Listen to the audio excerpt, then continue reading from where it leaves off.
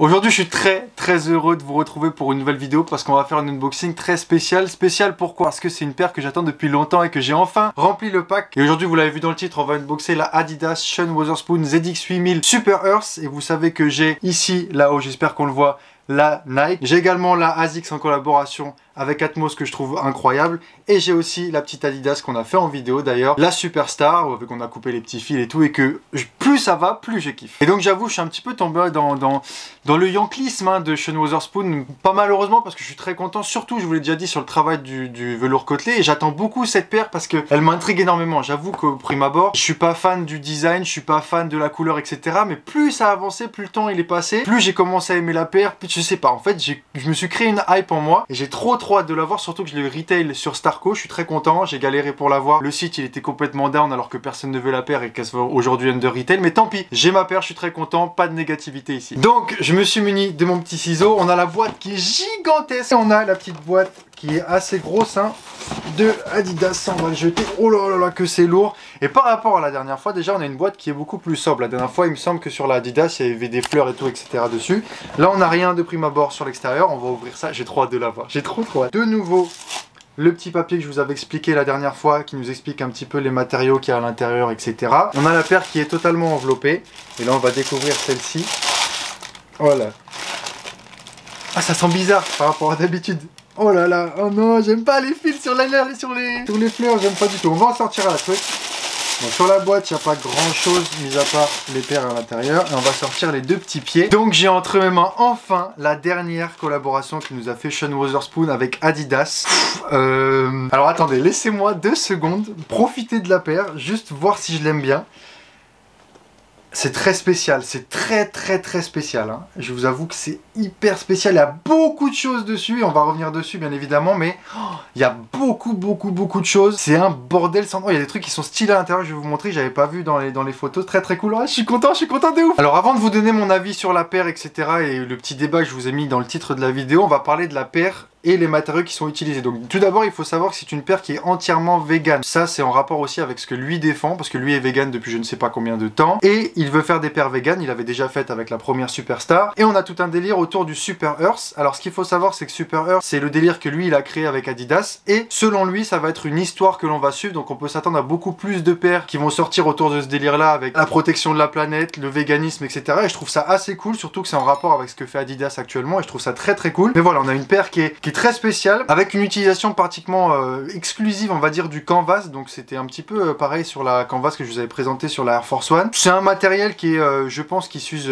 assez difficilement, qui est, assez, assez bien. Après, la paire, du coup, elle fait vraiment ancienne, je trouve. Et du coup, ça fait assez spécial. Là, il y a des renforcements. Elle est dure, la paire, par contre. Et la particularité, c'est qu'il a réutilisé ce qu'il avait fait sur la ASICS. Il a mis deux paires qui sont à peu près différentes. Alors, ça se diffère au niveau de la languette. Ça diffère au niveau également de la toe box ici, où il y a les carreaux verts et roses. Et là, il y a juste du blanc avec plein de fils au milieu. Et en dehors de ça, la, paire reste presque identique. Surtout, on a à l'arrière un côté qui est rouge et un côté qui est violet avec ce Sean Wotherspoon qui est très stylé, ça j'adore. Hein. Quand il y a son petit logo que, je trouve très très cool avec le Super Earth, qui est très sympathique. Donc sur la paire, on peut retrouver beaucoup, mais alors énormément de couleurs. On a du vert, du rose, du marron, du bleu, du rouge, du blanc, du jaune fluo, du...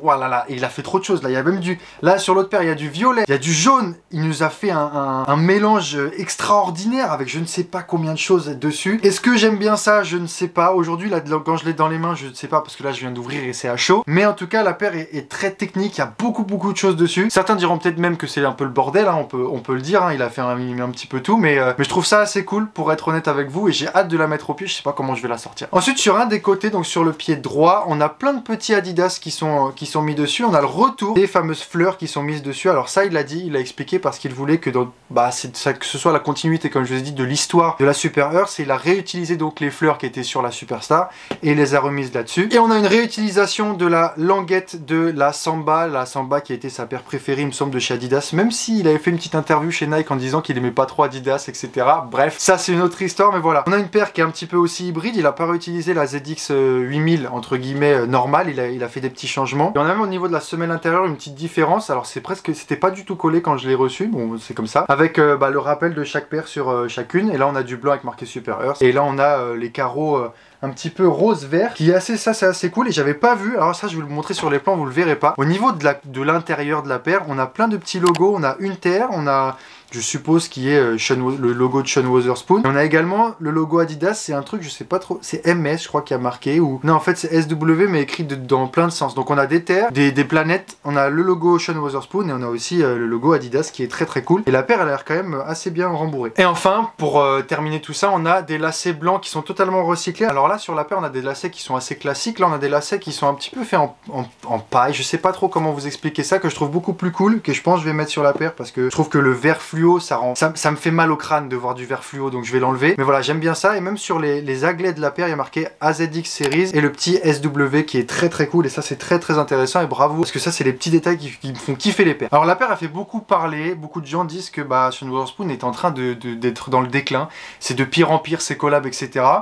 Et moi, je me suis posé la question est-ce que c'était pas l'une de ses meilleures collabs?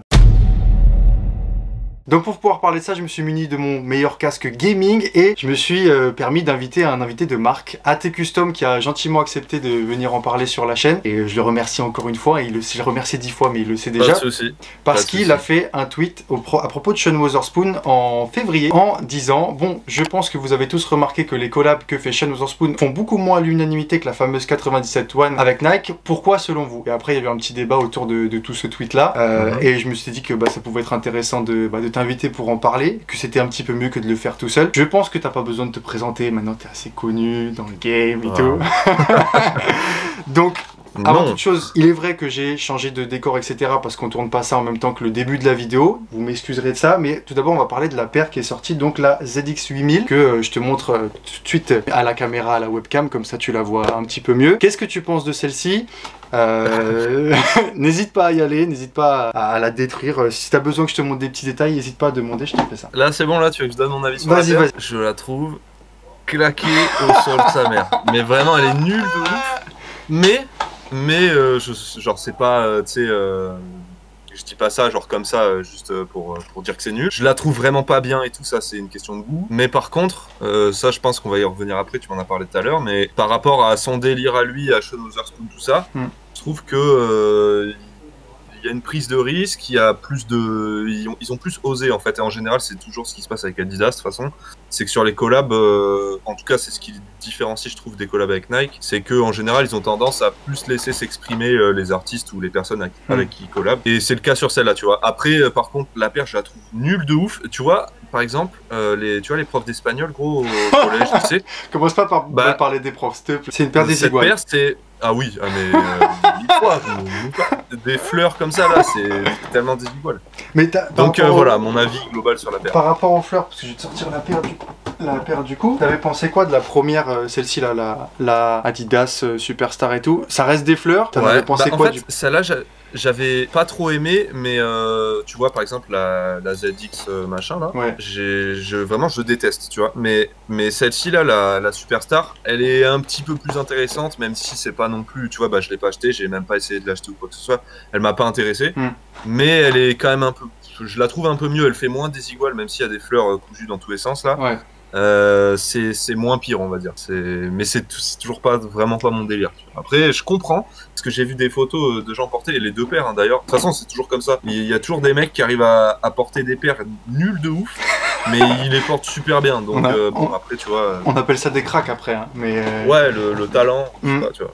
Mais après, moi, j'ai pas trop compris l'utilisation sur, sur la paire en elle-même. Lui qui. Alors, juste, il, défend euh, corps et âme la, la samba que lui avait joué au foot avec quand il était petit, machin. Après, sur les paires qu'il utilise, je sais pas s'il a vraiment un choix. Euh, la ZX8000, on la voit partout. Il y a eu la collab avec Lego, il y a eu, la, il y a eu avec Overkill, il y en a eu partout, tu vois. Je pense pas qu'il ait vraiment de choix Ouais. sur le modèle, tu vois. Je pense que, par contre, il s'est vraiment fait plaisir sur genre euh, l'utilisation. Enfin, il a mis Moi, comme je dis dans la vidéo, il y en a, ils pensent que c'est un petit peu n'importe quoi et c'est peut-être vrai. Il y, a, il y a beaucoup, beaucoup de choses, quoi. Et il dit même dans une interview que pour bien la porter, il faut mettre très peu de, de choses sur soi. Genre en mode, il faut que ce soit minimaliste.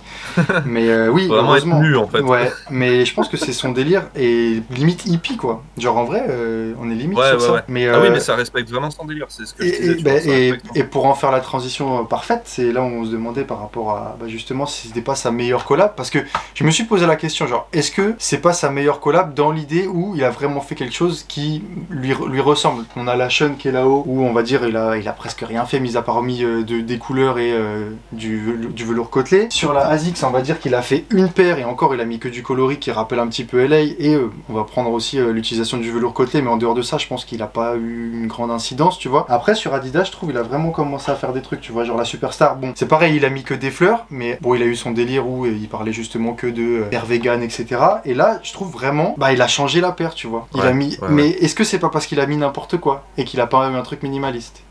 Bah, je pense, parce qu'après, tu vois, dans son délire, dans, même dans sa manière de s'habiller, etc., bon, c'était déjà un peu le cas avec les Mm. collabs précédentes, tu vois, mais c'est toujours hyper coloré et tout, tu vois. Et je trouve que c'est bien retranscrit sur la paire. Après, comme, il- comme t'as expliqué, il a dit qu'il fallait la porter avec, euh, entre guillemets, peu de choses. C'est ça. Surtout peu de détails, tu vois, si tu commences avec des trucs avec, euh, avec plein de couleurs différentes et tout, bah la paire, au final, tu vas même plus la voir. Alors que si tu mets euh, une tenue, on va dire, unie, ou du moins très simple, Ouais. normalement, la paire, elle va ressortir à mort et ça, Mm. va, ça va rendre un peu mieux. Après, euh, après, ouais, je pense que si on parle de cohérence par rapport à son univers, à ses idées, etc., ouais, c'est certainement une de ses meilleures collabs. Mais en termes de Design. après, en, en- en termes de design, de, de goût et de comment expliquer, de d'engouement, tout ça, Hum.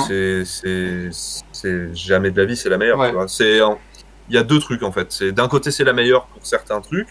Et de l'autre, c'est pas du tout la meilleure pour d'autres pour d'autres arguments. C'est ce que je pense aussi. Après, euh, on en parlait en off juste avant, mais est-ce que c'est pas parce qu'il est peut-être moins drivé? Du coup, là, il fait plus de choses qu'il a envie, et du coup, il s'exprime un petit peu plus sur ses paires. Après, on sait que lui, c'est très euh, vintage, etc.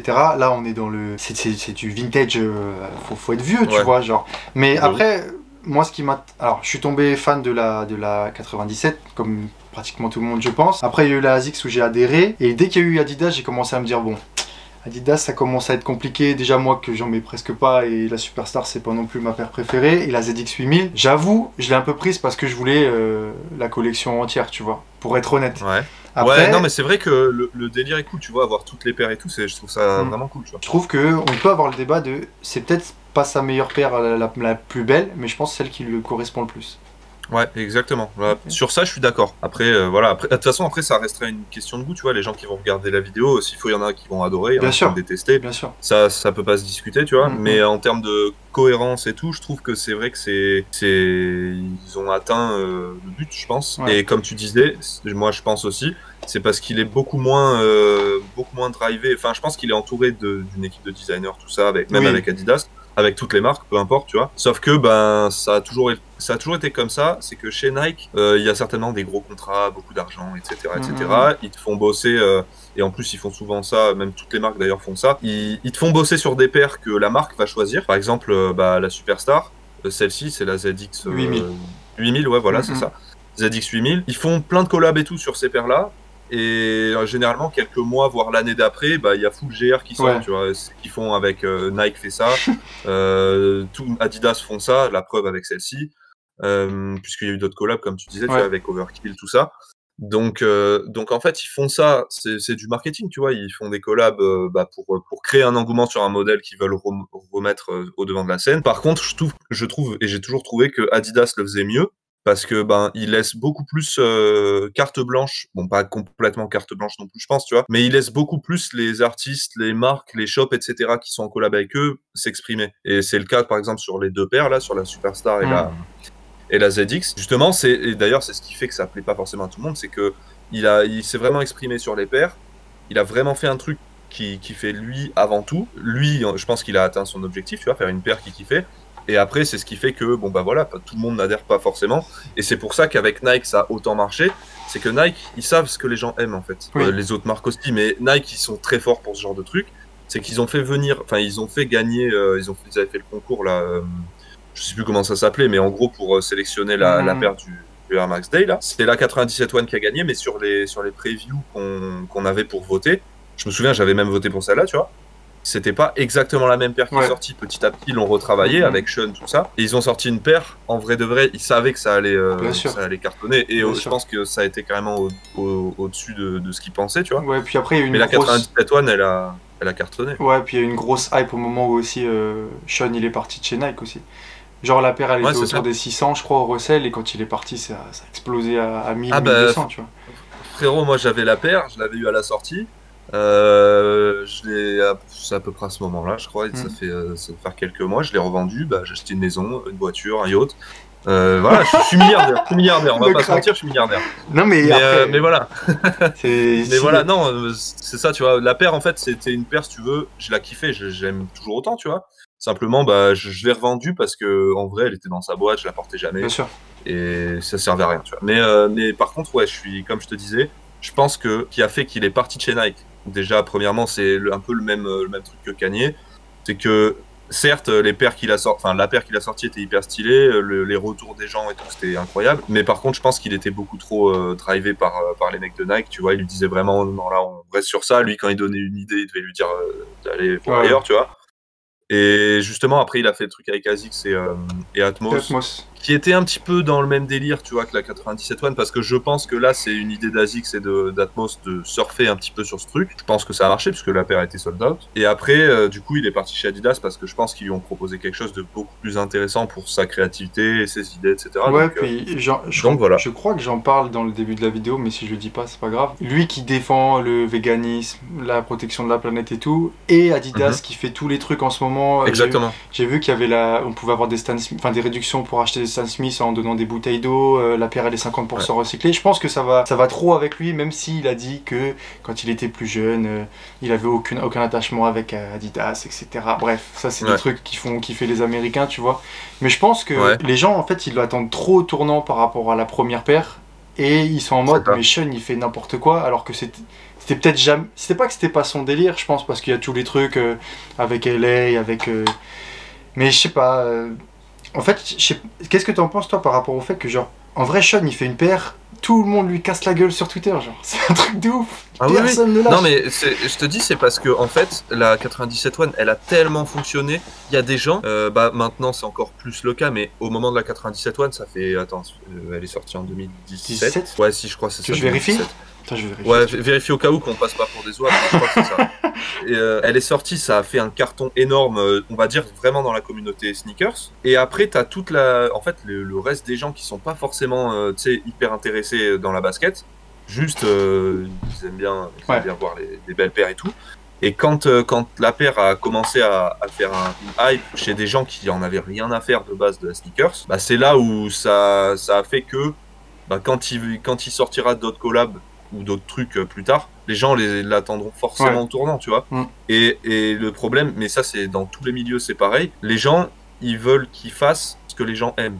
Alors qu'en fait, euh, il fait ce que lui il aime. ouais Et ça se voit que c'est un gars qui est comme ça, tu vois. C'est qu'il a fait sa collab avec Nike, où il a, je pense qu'il a fait ce qu'il aimait, et pas que, tu vois, parce que Nike a drivé à mort. Je pense qu'il était aussi dans le truc de dire, bah ça y est, j'ai enfin ma collab avec Nike, c'était son rêve, tu vois. Mais après, en fait, le gars, il va avec d'autres marques, et même lui, dans son coin, il fait des trucs euh, bah, qui, qui lui plaisent à lui, tu vois.